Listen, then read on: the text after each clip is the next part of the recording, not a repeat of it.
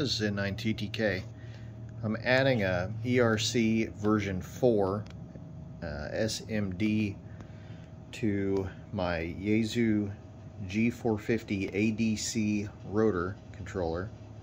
This will allow me to use PST rotator on my computer to control my rotor.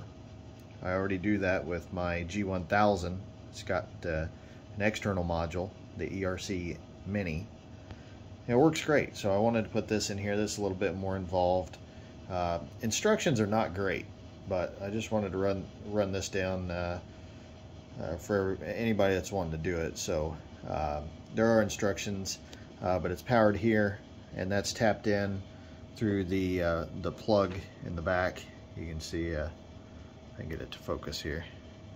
I just tapped in right here and on that brown wire as well. Tapped into there for the power, uh, as it says in the instructions. And then you just need four other wires. So uh, one of them goes to the, uh, the common, and then the, the other side of the switch for uh, clockwise and counterclockwise. I can't remember which one's which, but uh, one of each of those. So you just tap it into um, the switches and tap into the to the power and next I will go in and uh, configure it on the computer.